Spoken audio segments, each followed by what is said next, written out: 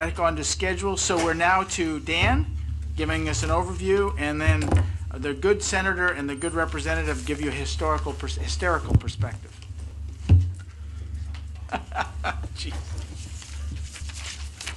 So we're going to back up a little bit. Um, you all want to take out your sheet that's titled Legislative Review of Major Substantive Rules, uh, especially for the newer committee members, um, essentially, uh, rulemaking by executive branch agencies uh, must be done consistently with what's called the Maine Administrative Procedure Act. And among other things, the Administrative Procedure Act sets procedural rules for uh, the development and adoption of uh, rules, agency rules.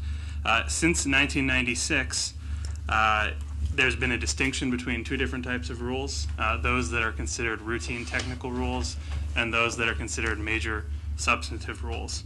Um, really, whether a rule is routine technical or major substantive is based on what the legislature says. Um, rules can be designated in statute as either. Uh, the rulemaking process is fairly similar for each of them, except for uh, major substantive rules have an additional rulemaking step in that they are uh, just prior to being finally adopted by the agency, going into effect. They are what's called provisionally adopted, and they're sent to the legislature to be reviewed um, by the appropriate committee, and then uh, if it gets to that, voted by the legislature. Um, when the rules are submitted to the legislature, uh, the they are the submission is reviewed for completeness. There's a number of uh, items that have to be provided with the rules. There's a certain number of copies that have to be provided. That's what uh, our office, um, along with working with the executive director of the legislative council, does. Our office being OPLA. Um, and assuming that it passes that review, a resolve is generated um, to allow for the rules to be reviewed by the legislature. Um, then the resolve is referred to the appropriate committee, uh, and then the committee can work those rules. Uh, the committee can approve the rules for final adoption. Uh, the committee can approve the rules or only a part of the rules for final adoption with or without amendments, uh, or the committee could uh, disapprove final adoption. And then that would obviously go up to the floor and be voted on. Uh, and the interesting part, I guess, about amendments to the rules is that you don't, you can't directly amend the rules. Um, you have to stipulate the rules can be amended uh, to require that X, Y, Z. So you couldn't, when you have your copy of the rules, uh, we wouldn't be going line by line and saying cross this out, strike this, change this sentence here. Um, it would be more general to tell the department what to do. Um, the committee's review of major substantive rules can involve um, pretty much anything. The uh, statute, which you have here, um, section uh, 8072 of Title V. It's actually a couple sheets in. Uh, if you turn to the second page, uh, subsection 4 is committee review, uh, and there's a number of uh, suggestions uh, for what the committee's review of the rule should include. Um, pretty much, there's a lot of things you can look for, but pretty you can look for anything. Um, And I, I guess I did forget to state that uh, at any point that I'm going through this, if you have any questions, please interrupt me. Um, I'm going to try to take this as slowly as possible, but also cognizant And of time. I'm sure keep we'll go moving. through it Yeah. again as we're going through the committee, so smush theory will strike Right. us many times. Okay.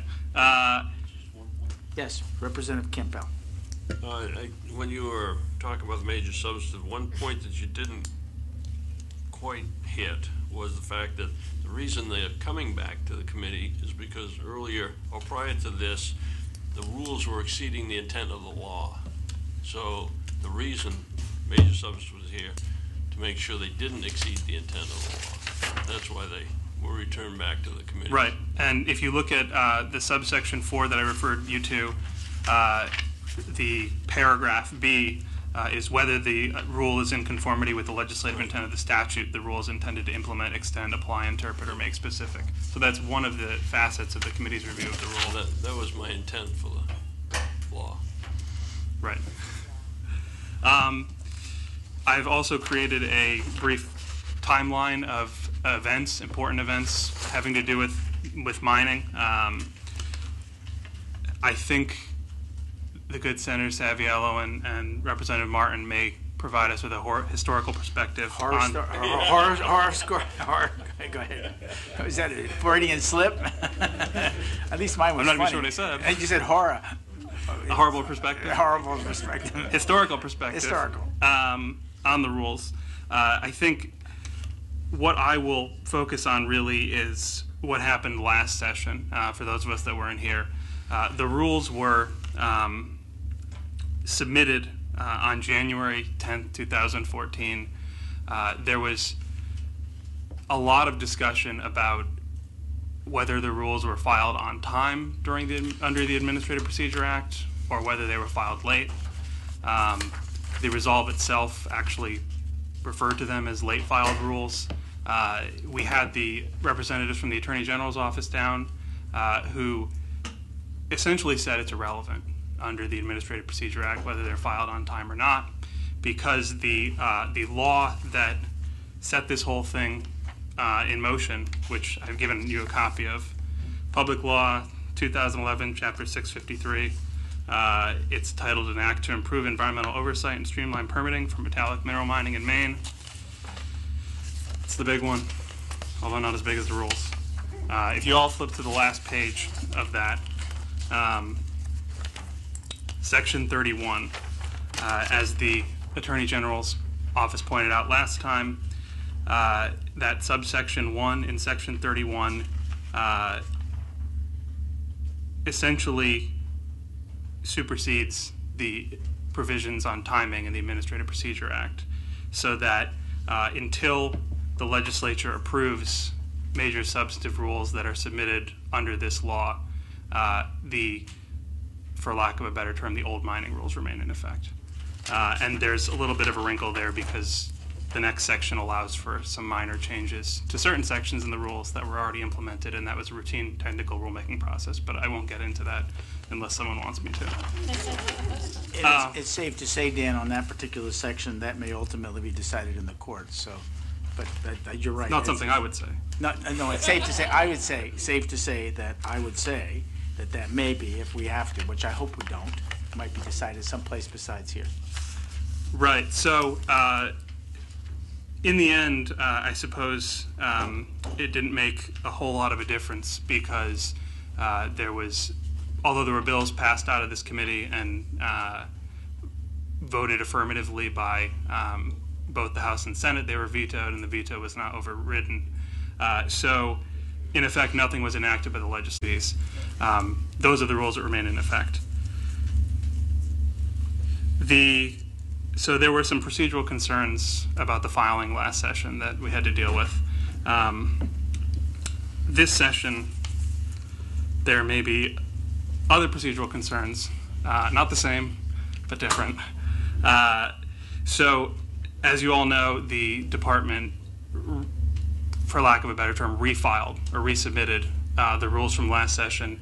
Uh, as far as I know, they are 100% identical uh, including, uh, we talked about this last session, there's some uh, grammatical formatting errors. Uh, the page numbers don't match up to the table of contents. and that I think was because they were rushing to get those changes done and get it in by the deadline, January 10th last year. Um, so the rules are completely identical. We, uh, at the chair's request, we had a meeting with uh, Jerry Reid and Mary Sauer, who are two assistant attorney generals at the attorney general's office, uh, and they consulted, as I understand it, they consulted with uh, the attorney general before meeting with us. Uh, and the question is uh, whether there's an issue created by the department essentially refiling those rules. And the position that they're taking is that yes, there is a potential procedural issue created by this refiling. Um, and as some of you may know, uh, the process that the, the the role the attorney general plays in the rules adoption process, the rulemaking process, is that uh, prior to provisional uh, adoption of the rules, or as an, a component of that, they have to certify that the rules uh, are in compliance with the Administrative Procedure Act. And they did certify that uh, as a component of the provisional adoption last year. Um, but another aspect that they play is they have to also certify just prior to final adoption uh, that the rules are compliant with the Administrative Procedure Act. And they have said to us, at least initially, that they have concerns about that compliance, such that uh, if the committee were to uh, authorize in some form, uh, and the legislature as well enact it, uh, for final adoption of the rules in some form, uh, they may not be able to sign off on final adoption of the rules. Uh, however, while there is what they consider a potential procedural issue, they believe that there are a number of solutions, many of them that will be relatively simple to implement, that would fix that procedural issue and allow them to sign off on final adoption. Uh, they're willing to work with the committee and with myself if the committee wants to move forward with uh, addressing the rules and making any changes or passing out something that approves final adoption. Um, we would work with them to make sure that whatever is put in it would allow them to certify final adoption should it be enacted. Excuse me, Tim? is- is, are, are you suggesting that once the legislature refused to approve the rules last session, that those rules are dead? No, I, I don't. I don't think anyone uh, has Anyone? commented on that. Um, I'm not sure exactly what the status of the rules would be considered after last session. They were not. They were not at a point where they could be finally adopted by the agency. Did they go back to the Board of Environmental Protection? No, the process ended. Uh, maybe not ended. It, it just kind of it stood, There's, there's stood no, there. And I think, and let me explain to the committee, and I- perhaps we can get an answer to your question. Um, The committee last week, our chairs, were invited to meet with, as Dan said, with the Attorney General. Joan met with them, and, and in my stead, I sent the uh, good representative, uh, uh, Martin in to have this conversation, and you might want to expound on, maybe answer partially uh, Representative Tucker's question as well as to what was decided in there. Discussion we had last sometime, question of where are we in the process? And, and when you look uh, at the APA, uh, uh, in terms of submitting of rules, it doesn't say that the department can't submit them five times. Uh, It, it doesn't, it says they shall submit.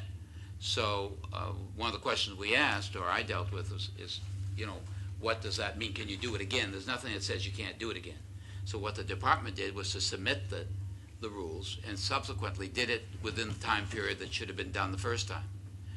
Uh, I want to go back just a little bit, um, because I think that, uh, that i- Representative Campbell raised that issue. Keeping in mind, when I first got here, there was no such thing as rules.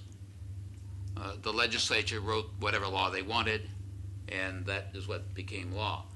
Over time, the legislature got a little lazy, and they started having the departments write rules.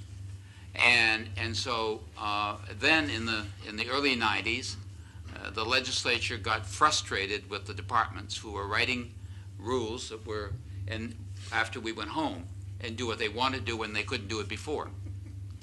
So then, eh, eh, then in 95 and 96, uh, we uh, changed the law uh, and created substantive rulemaking. So now you have routine and you have substantive rulemaking. And so the legislature can decide when it writes the law as to whether or not it's going to be routine or whether or not it's going to require that the department bring the rules back to the legislature for approval. And, and so that's the background to how we get to where we are. Uh, and, and so, you know, actually, in all reality, uh, we could ignore all this and simply write whatever we want to in the law, and that becomes whatever it is. Uh, or we can use this process to amend and suggest what, what rules we want changed and send that over to the department, which then has final authority to, by the, the, under that process. So after some discussion, when we had that discussion, it was clear that, that we can do what we want, what we want to do with the rules. And at some point down the road, which is true of anything, you know, for fifty dollars, anyone can sue anyone. So, so there, there's always that opportunity that someone can choose to go to court, but whatever. Uh, and that's something over which we have no control. Uh, but, but that's where we are in, in, in where we are today. Representative Welsh? Yeah, I, I would just add, I think the, um, what became clear was the Administrative Procedures Act needs a little work to better define. I guess I didn't What- draft it well enough. So, good representative, get to work here. But, um, I think the, the, the key was the words "at the time" an agency provisionally adopts the rules. So that's what kind of we were discussing. What does that mean at the time, and is a year later okay? I think where we came is that when we, if when, uh, whatever we do with these rules, we can add a clause that said, notwithstanding, we understand that these were appropriately put before us. So um, that's, that's the way we left That's it. correct. Representative? Thank you, Mr. Chair. Um, I, I thought that if we changed the law, then that would mean that the rules were out of conformity with the law. Right now. If, if Oh. Representative Martin said that if we cha, we could just change the law and not change the rules. Oh, would- this, no, no, no. That if you ignore, if you want to write rules, This is back. adopt rules, you could simply take whatever you wanted and say, make, amend the law, and those would be the law, and you wouldn't have rules. Isn't that how the old mining, The old, mining, that's the way, they're actually mining you know, laws, not so, mining rules? so that's really, you go back here, but I don't want to go back to that period because, again, We spent a lot of the time. legislature would be spending, it would be a full-time legislature. Uh, They'd be drafting everything. Representative, Senator Breen? Thank you. Um, Just in another question about the APA conformity and the procedures and stuff. Um, I was, I've been getting a lot of information as a new person, so I'm trying to sort it out. And one of the things that I heard was that um, when the department brought back the rules to the legislature this, this go-around, that um, we should have had the board weigh in again. And we skipped that step, or we, um, f- since they had done it so recently, we decided it wasn't a good use of anybody's time. Um, so uh, I'm trying to figure out if that was part of the discussion with the AG, um, not just the time, you know, at the time phrase, but the uh, the stops along the way in the chain of um, rulemaking. Does it in fact go from the department to the bureau to the committee? And so I'm looking for clarity on that. In the APA, there's nothing in there that says that the department has to take it back to the board. Silent. And, and it doesn't say that the department can't resubmit the rules. It doesn't say it has to. It, it is vague, It's vague. okay? So there's nothing there that, that, it- and that, that's the thing we talked about as to whether or not we ought not to draft some changes to the APA process as to what it is we want it to mean. Because at this point, either side can take the position that they want to, and it's, there's, you know, basically, uh, nothing you can do. Representative Welsh? Yeah, and just to clarify for uh, Representative Harlow, we, we didn't talk about changing this in order to deal with our rules now. It was just more something that in the future might need to be. said. Um, I, I was more just res- uh, responding to what Representative, I must, might have misunderstood what he said, but I thought what he was saying is that we could change the mining law and then we wouldn't have to do anything with the rules. But you were talking about the APA. Right. Okay, that's what, that was the Yeah, confusion. yeah, yeah. To change the mining law, we could, if I'm We couldn't do correct about this, we could take the rules and go back into it, but you have a bill that's gonna come at you on the mining laws, that if we have to revise the laws related to what we do to the rules, we'll be able to do that. Can I ask another? Yes, please. Um, c- Could I ask Dan what the Attorney General's angst was, just because we haven't heard that? Sure. Yeah, and, and I think the, the, the Assistant Attorney Generals may have taken a different approach on interpreting the statute than Representative Martin has. Um, They, they, they, uh, they agree, I think, that it's certainly not explicitly clear. But uh, they do think that there's a concern with the way it was done, uh, and that that concern, I believe, is significant enough for them that if there's not some sort of a workaround implemented, they will not sign off on final adoption of the rules. Oh, okay. So, uh, as Representative uh, Welsh pointed out, uh, in Section 8072, subsection 2, uh, which describes submission of materials for legislative review, uh, the language that's used at the beginning is at the time an agency provisionally adopts a rule, which suggests that the provisional adoption and, and then the submission is supposed to be a relatively simultaneous process. Um, the the attorney generals did acknowledge that um, in some cases this could be a month, it could be two months, it could be three months, it could be a couple of weeks. Um, but I think the further you get out from that provisional adoption, um, perhaps the more of an issue there is. Uh, they talked about how, you know, the, the, the comments that were received are stale, um, how much of the overall Administrative Procedure Act seems to be um, structured with deadlines so that the intention appears to be to have a single uh, rulemaking process that goes step by step without any significant breaks from the beginning all the way up until final adoption.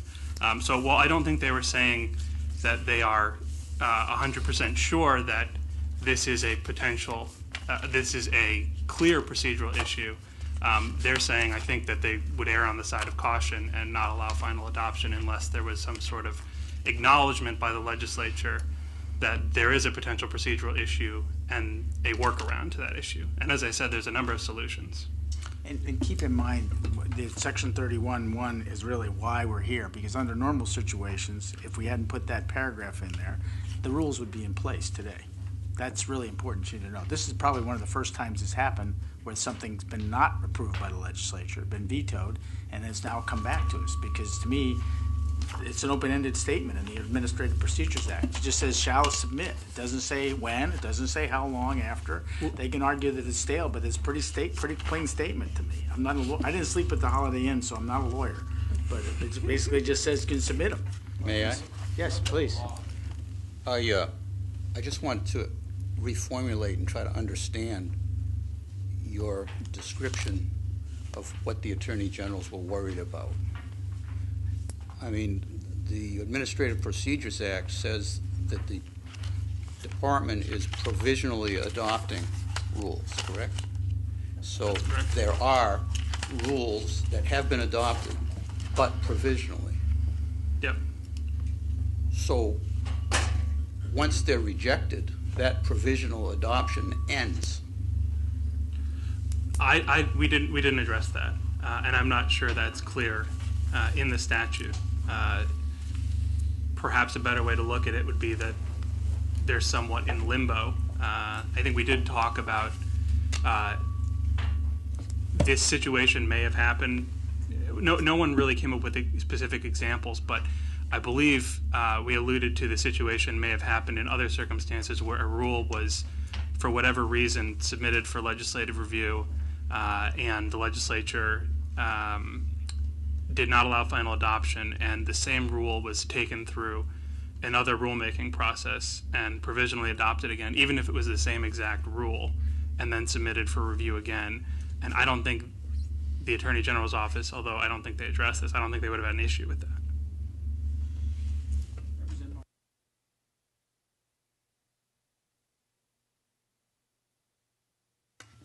But if you, if you go uh, to, on, the- to the law that's on the books now, until we adopt r- rules, there are rules. And it is the old rule. So, so the last thing we want are the old rules. And so that's really.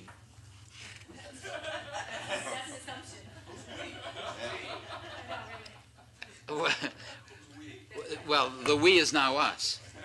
Uh, Because in, in the, the bill that, that I sponsored, uh, which is now law, uh, there's a provision in there that says if the legislature fails to act on adopting new rules, the rules that were adopted pursuant to the old law are still adopted rules.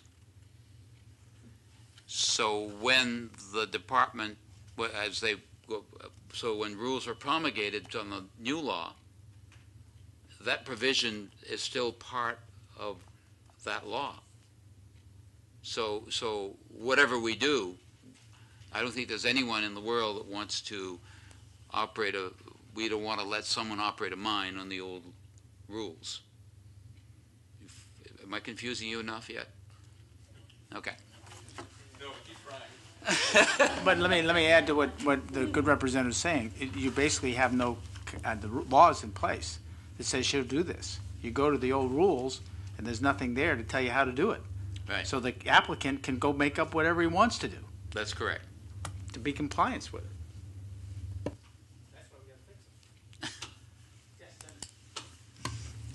Dan, did the um, attorneys general have any uh, concern about the step that I mentioned about going back to the board for their process? Did that come up, and did they register any concern about that? I, I don't recall if don't recall. that was mentioned as a point of concern. It was mentioned as, I think, an option that they, they could have taken, the process that could have been taken with resubmission of these rules, but it wasn't, so it wasn't something we discussed.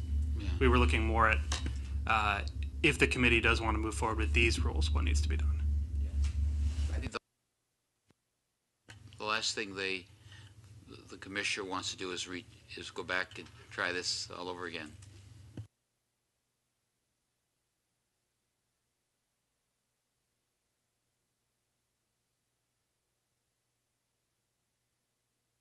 Uh, I've also provided you with your own copy of the mining statutes. Um, and it may be useful. Uh, obviously, we're going to, if we, as I imagine, are going to have a, a public hearing uh, on the rules. I provided you with my bill analysis from last session. Um, some of this will be irrelevant, but uh, just for those of you that weren't here, uh, my synopsis of the hearing testimony, what people have already said last time about the exact same rules, uh, might help uh, focus your review of the rules um, prior to the hearing.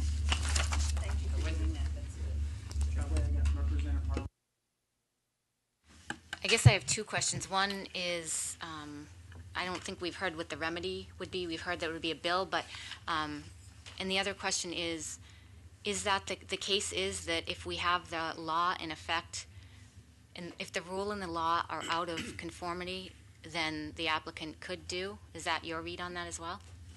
Uh, to the extent that the there is an actual conflict between the rules and the law, the the law would win.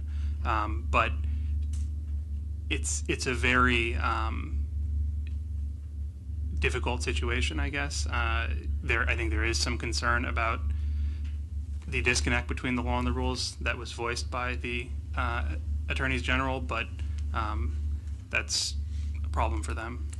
And that's been in the case for the past year, right? That's correct. Okay. And what's, what is the remedy for this?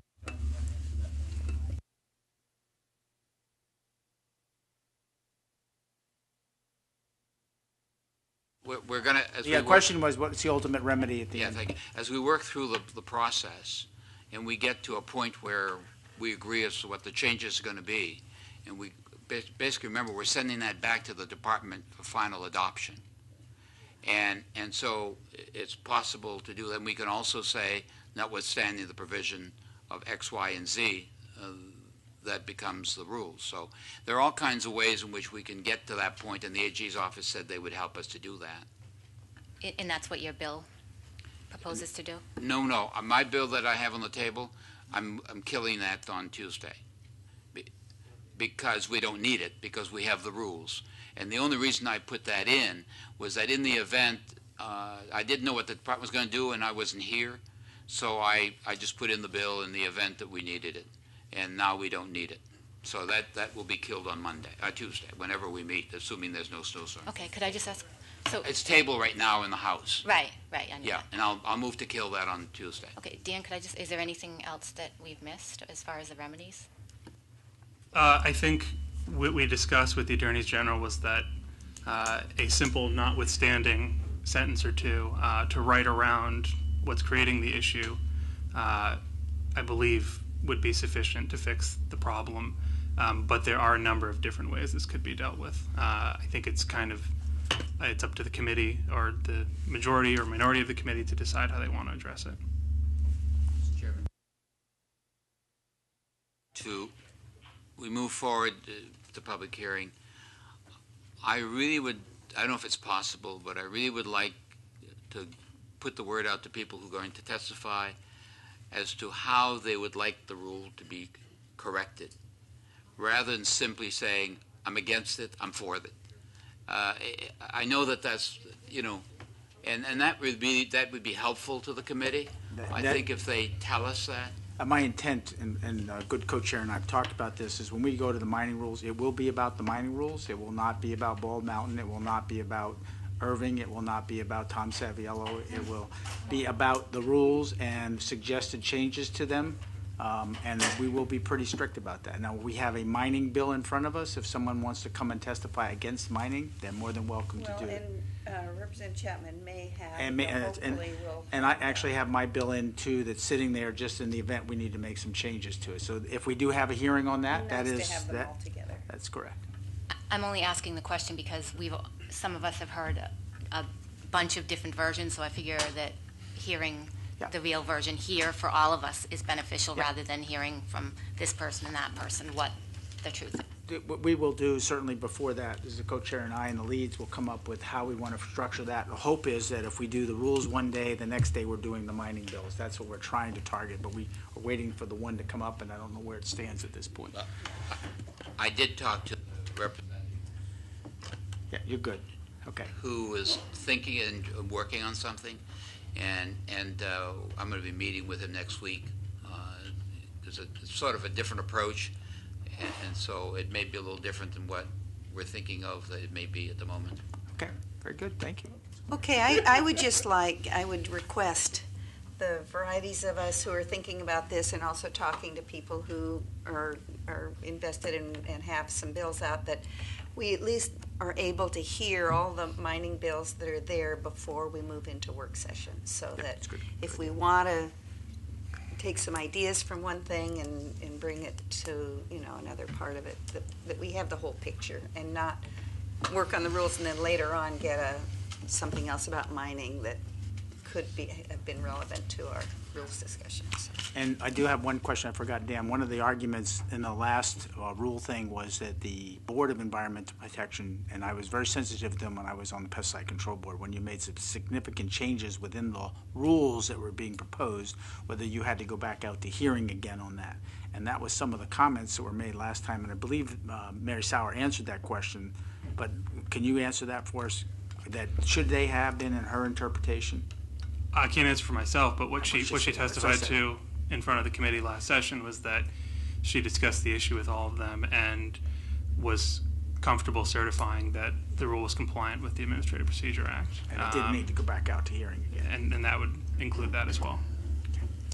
Just want to make sure that the rest of the committee heard that. Any other questions for Dan? Good to have our own attorney here. Uh, and I would also note that uh, a lot of information we went through today. If any of you uh, have additional questions, I'm always available to talk to right next door. Um, I'd be happy to go through with, with, with you. Thank you. Now, now we're to Heather and Jeff, and you're going to go. I'm gonna Be safe. I think I know what you guys are gonna say. Yeah, I think so. You know what we're going to say. You'll tell me. And thank you, both of you, for being patient, and sitting through this for the umpteenth time. And thank you for, for uh, listening to us at the very end of, of what must be a long day for you. Um, good afternoon. I guess it's not evening yet. Um, Senator Saviello, Representative Welsh, Welsh is still here, and members of the committee. Um, I am Heather Parent. I am the Deputy Commissioner of the Department of Environmental Protection. Um, with me, I have Jeff Crawford, who is the um, Deputy Policy Director for the department. Um, because this is the first time in, I'm in front of you, I'm going to give you 60 seconds of history about me um, in the context for why it's me and Jeff up here today. Um, I am, uh, uh, I have been uh, named as the acting deputy commissioner as of May of last year. Prior to that, I was policy director of the department and had the um, pleasure of being in front of the Environment and Natural Resources Committee when this, uh, when the framework law came in front of the committee um, in 2012. Um, so I have been with this subject matter since since the very beginning of this process. Um, when the rule, when the legislature um, voted to enact the bill, and when the governor signed the law, um, I recruited Jeff um, to be the the ringmaster of all of the various staff who were involved in the uh, rulemaking process, the writing, the reading, the the um, uh, analysis, you know, the research necessary, the rewriting. Um, Jeff has been the person who has been in charge of that since um, the end of 2012, beginning of 2013. And uh, before I get into the substance, I want to make sure I publicly uh, acknowledged uh, the tremendous amount of work that the entire team did, um, and in particular Jeff, because when we were talking about rulemaking um, in front of the board at the end of 2013, um, Jeff was there from 6 o'clock in the morning till at least 7 o'clock at night evenings, weekends, snowstorms, holidays. And so um, this is probably one of the only opportunities I'll have to publicly thank him. And so I wanted to do so. Thank Jeff, you. you, you and I go way back. Thank you for the time that you put into this. Uh, Thank you, I Senator. really do appreciate that. And I never really got the opportunity to say that last year because I know this was quite a task we dumped on the DEP and, and for you to take the lead, I, I really do appreciate that, knowing all the work you do do. Uh, because you've heard a lot uh, so far today, and because it's late in the day, um, I'm going to talk a little bit about the history just to put some things into context and to clear up some um, misconceptions, and then I'll get into the framework if that's uh, all right with, with the senator and the committee. Um, one of the items that I want to note as far as the, uh, from when the framework law was developed um, at the legislature in 2012 was that although I was frequently sitting in this seat in front of this committee, uh, in front of the Environment and Natural Resources Committee, I always had um, a staffer with me on the subject matter. Um, we worked with the Environment and Natural Resources Committee in no less than 10 hearings and work sessions and really crafted a, you know, essentially recrafted um, the law that was passed into law. Um, and the work that was done by our hydrogeologists, our mining coordinator, um, our um, water quality experts, our um, hazardous waste experts, our solid waste experts, um, really went into the work that was done that created the law. I will be calling it the framework law because it really does create the framework, framework for the rules. Um, the rules are entitled Metallic Mineral Exploration, Advanced Exploration, and Mining uh, Rules. And the reason why I'm noting that is because we keep talking about the mining rules, but there are three different components. And that's particularly important because I want to talk a little bit about timing. Uh, we've talked a lot about how you know the process was rushed. I wanted to make sure that the committee had an understanding as to the timing associated with the work that the department's been doing since May of 2012.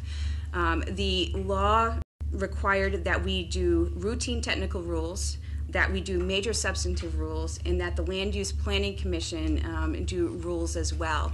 And so in 2012, we got to work and we um, went out for an RFP to get um, a, an expert to help us with some of the research and preliminary drafting that we took and ran with and, you know, used as um, a jumping off point for some of the work that we did. Um, and we went to work on doing the routine technical rules. The routine technical rules were drafted in 2012 and were, you know, adopted by the Department of Environmental Protection, which is the way that routine technical rules work, in early 2013.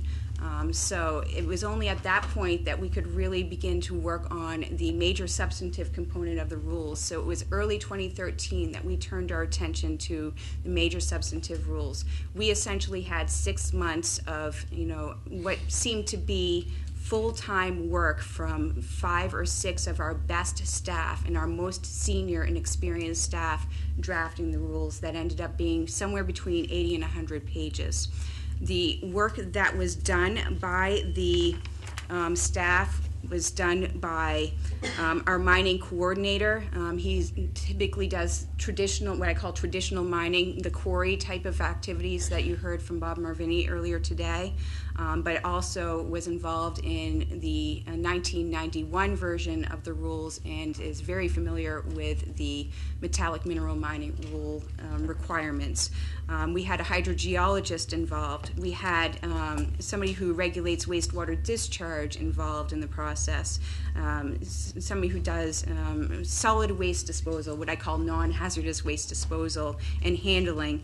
Um, we had somebody who deals exclusively with hazardous waste management and disposal issues. Um, Jeff, in addition to coordinating, spent more than 20 years in our Air Bureau and served sort of as our Air Bureau expert and as well as well as our um, our ex, you know, our, our coordinator um, of, of all of the work that was done. This team, you know, I, I didn't ask for individual estimates as to what they did, but I, I it was pretty much a full time job for a couple of months for the for the experts involved, experts within our department. I call them experts um, who did this work. Jeff, Jeff, Um, as we promised to the legislature in 2012, um, we released a draft of the rules before they went public. Um, I, you know, I'm part of what I'm doing up here is just making sure that everybody has, um, you know, an accurate depiction of, of what happened. And I've heard that we didn't re- release a draft. We did, in fact, release a draft, and we actually incorporated some very good comments from that draft, uh, from that release of the draft, before we submitted them to the board for their consideration. We submitted the uh, the draft um, to the board for their consideration uh, the first week in September. The board um, met uh, a couple of weeks later to to vote to uh, initiate rulemaking. And from that point on, we had several meetings with the board on this issue. We met on September 9th with the board. Um, at that point, we talked about several topics um, and began to uh, coordinate with the board and, and let the board know what the I have a issues quick were. question. I mean, I don't mean to interrupt your Yep. chain because you're doing great. But when did you send out the draft for just general comment? It was in August of, uh, we, we allowed for uh, at least a few weeks of, of public notification and comment before we had to take, you know, an additional week to consider what comments came in and make the changes and get it to the board. Um, our idea, our, the idea was to give the public enough time to, you know, give us some big, tell us where, where we might have missed the mark, where we might have missed something, or, you know, where we could just strengthen things um, knowing that there was going to be an extensive process in front of the board where we could, you know, tweak, you know, a, a- an issue here or an issue there. Um, so it was, it was at least three weeks, I'd say. About three weeks. Um, Good, thank you. Oh, and by the way, before, before we were presenting the rules in front of the board, um, we also, the, the team also briefed the, uh, the board on mining in general. We gave them an overview session on mining, what the framework law was, what, you know, what is required, you know, what the board would be required to consider. That briefing happened in the summer of 2012, um, before we uh, submitted the rules to the board um, for their consideration, to help orient them, similar to what has been happening today um, uh, for, for you all. So,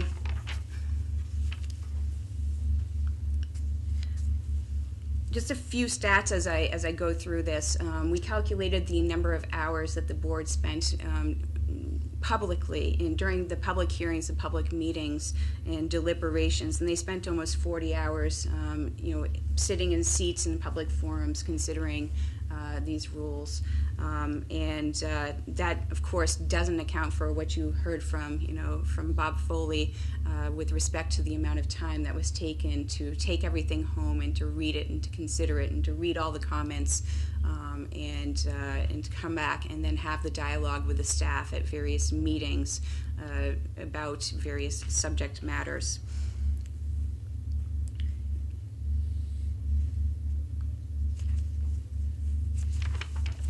Want to get into So on S- September 5th, we had the meeting with the board where the bo- board voted to, pu- to um, post the rule for, for public comment. At that point, um, it took a couple of weeks for that to happen. That's just the way it is. You send it to the Secretary of State, it takes a couple of weeks to get into the newspaper and to get posted. At that point, we need at least 30 days for the public to comment on this, and I think we might have even uh, allowed for a little bit of extra time because this was a significant rule. This was more than 80 pages, and we wanted to give the public an opportunity to really think about this, provide us their comments, provide us the information that they needed. Um, the board held a public hearing that lasted literally all day. Um, and received a lot of really good technical information um, from various members of the public, in addition to uh, the the, um, the more general comments that they might, that they might have received. Um, on eleven twenty one, we met with the board again and talked about additional subject matter. You know, we reviewed the comments. We said, here are the various topics that we've identified that seem to be coming up as themes. How do you want to deal with this? And Jeff and the technical staff had a back and forth with the board where they said, um, here's an issue with respect to us saying that you're not allowed to mine in or under the waters of the state. Um, here's the technical information that you need to deal with, board. How do you want to handle this situation? There was a back and forth dialogue. As a result of the dialogue, um, in most instances, uh, the staff would get, you know, a directive from the board to go back and try to create some language um, to bring back to the board. This happened on uh, November 21st. It happened again on December 2nd. On December 2nd, it was determined that there were um, 10 items that were considered substantial changes to the rule that the board wanted to make, and the board went back out for public hearing and public uh, back out for public comment at that time uh, on those changes, on those 10 specific items. Um, after that, after that additional public comment period, um, the, we took the information, the public comment information, we made sure the board all had that information in front of them, and again, sat down with the board and said, here are the items and themes that they had with respect to these uh, items. What do you want to do? And the board gave us more directive and more information.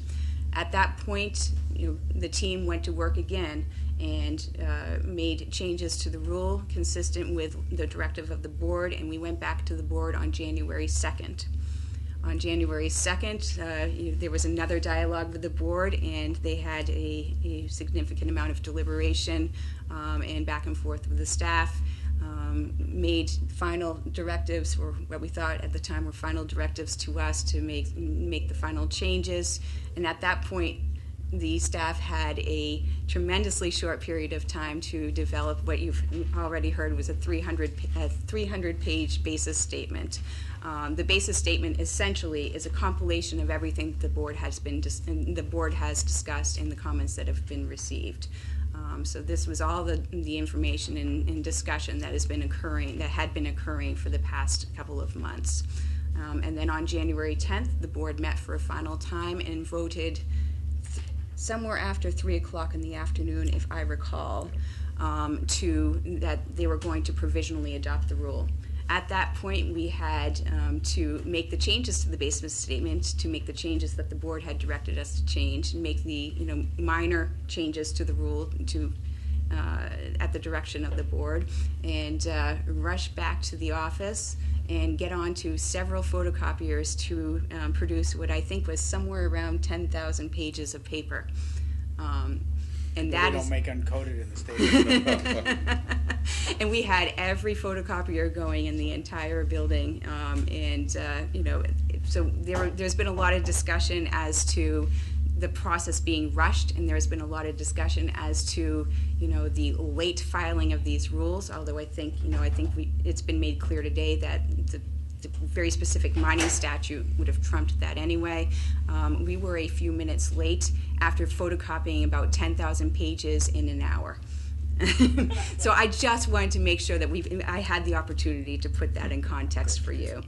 Um, very briefly, I wanted to just give you the subject matter of the topics that were discussed um, at the various meetings. Most of the topics that I'm going to list for you were discussed with the board at several meetings. Um, Most of these topics had some sort of change that the board had asked the department to make and go back and, and present to the board again. Um, And uh, most of these topics uh, had revisions from the time that we presented it to the board for their consideration to the time when the board provisionally adopted. Uh, The first one on the list is um, that we had originally um, written in the proposal that waters in or under the, uh, mining in or under the waters of the state would be prohibited um, as a straight prohibition. Um, Conversation um, with technical staff amongst the board identified that, you know, that might not be- necessarily be um, needed for environmental protection in all instances. And so there were revisions that were made to ensure that environmentally protective measures were in place, but that the prohibition wasn't um, just a strict prohibition in all instances. There was a requirement regarding post-closure wa- wastewater treatment. Um, You've heard a lot about um, that today, both with respect to the uh, term that is used of perpetual treatment. Um, There, we had originally proposed that there be a um, 30-day, a 30-year perpetual treatment requirement. That is consistent with RCRA, um, and um, we had proposed that. um, ba- Heather, ba- not everybody knows what RCRA is. Thank you. I'm going to do that from time to time, and I, I appreciate you holding me to, uh, to just not speaking environmental speak. RCRA is the Resource Conservation and Recovery Act. It's a Super. federal law um, that deals with um, the uh, hazardous materials. You'll often hear cradle to grave. Um, that, that was the original cradle to grave um, uh, prov- federal provision to make sure that materials are handled properly from the time that they're generated to the time that they're disposed of, however they're disposed of. Um, and And so, that can be extended to 60 years pretty quickly, I think, if I remember the rules right. Maybe I'm wrong. Maybe I've got it mixed. Keep going, keep going. that, that's monitoring. The, the, the, the, the 60 years was a, you- a minimum of 30 years re- required for monitoring, but we can extend it that to 60 years if it's necessary to, um, or beyond that if it's necessary to ensure that proper monitoring takes place. Um, so the reason why we, had, the reason why staff had identified 30 years is because it's consistent with the Resource Conservation Recovery Act um, and the amount of time that might be necessary to ensure that we um, identify a problem. If a problem uh, occurs after the 10-year mark, um, and 10 years was the limit, um, Stacy um, had indicated at one point that there there might be a, a question there as to whether or not that would be environmentally protective. Um, Under, just follow up, under, under the, the NAPFA law, even if we say fifteen years and there were problem after that, federal law would take over.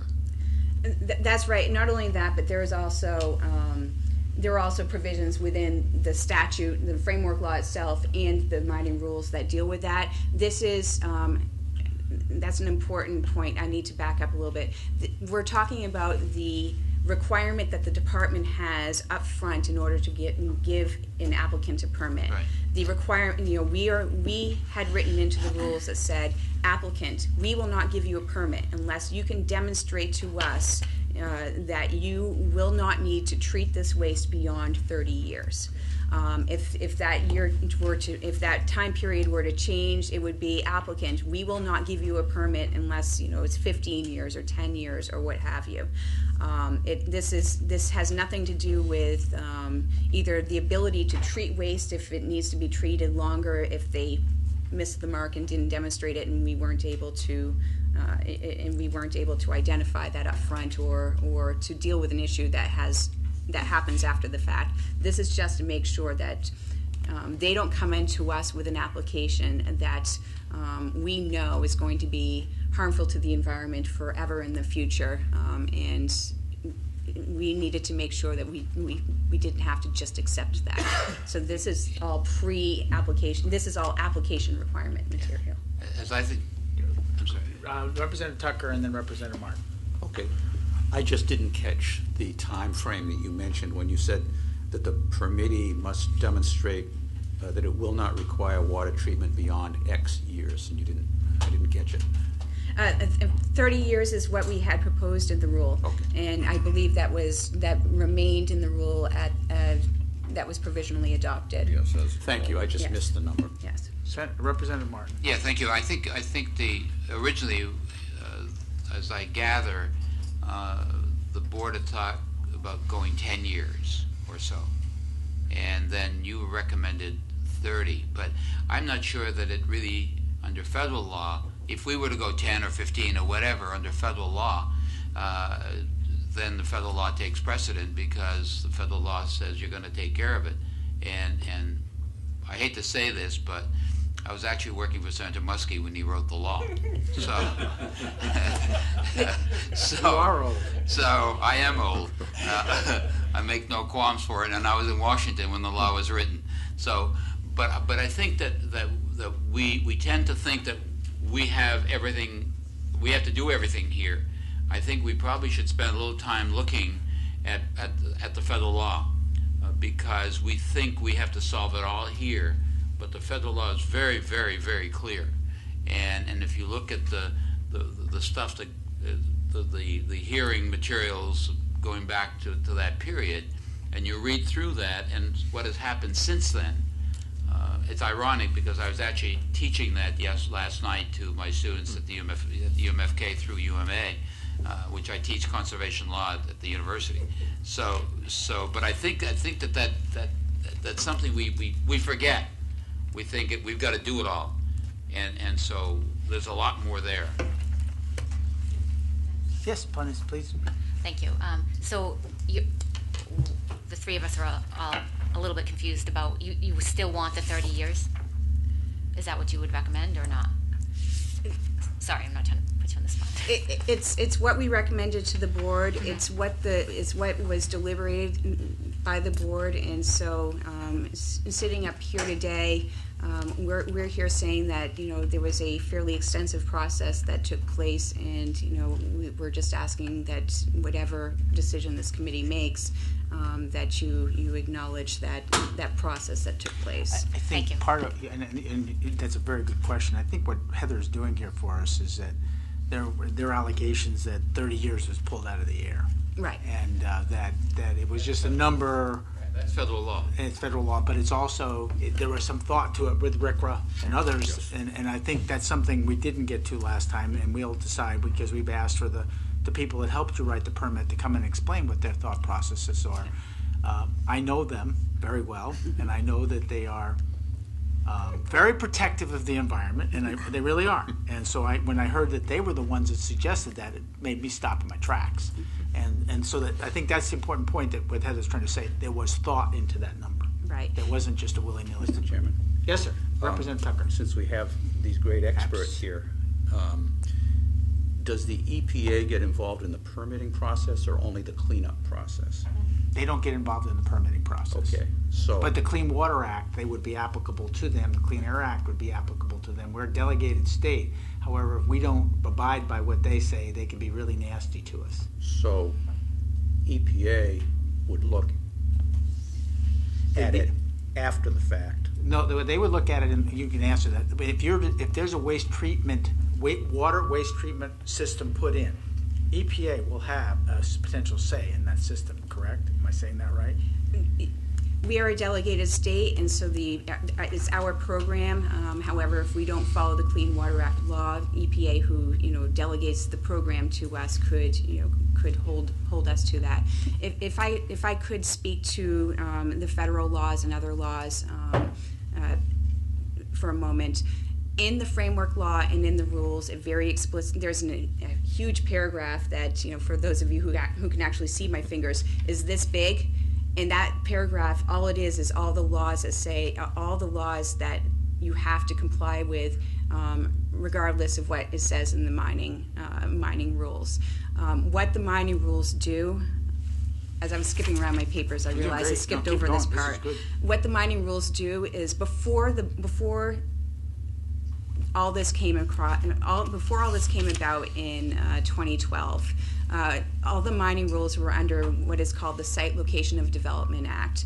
Um, that is a, uh, a state law um, that deals with any projects that are large in size, for example, over three acres um, in size. And it deals with a whole host of environmental and siting issues, such as noise and dust and um, you know, fitting harmoniously into the environment and soils and, you know, making sure that, you know, there is proper stormwater associated with it. It deals with all, all kinds of uh, environmental issues. Um, when the original mining r- rules from 1991 were developed, um, a lot of the laws, the state laws that that exist today, didn't exist, at least not in the form that they exist now.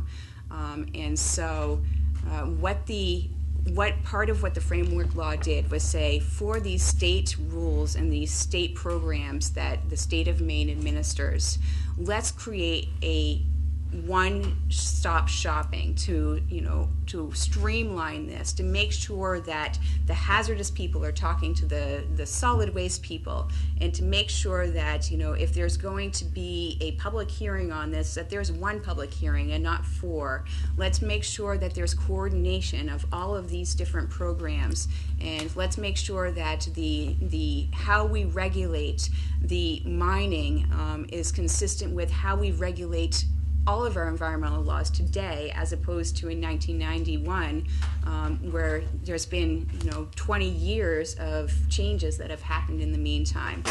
Um, in the law and in the rule there is a paragraph that says um, the following laws will be uh, must have their own permits and must be administered separately. Um, but you have to coordinate with with the timing and and information sharing with with all the other mining um, permitting activities.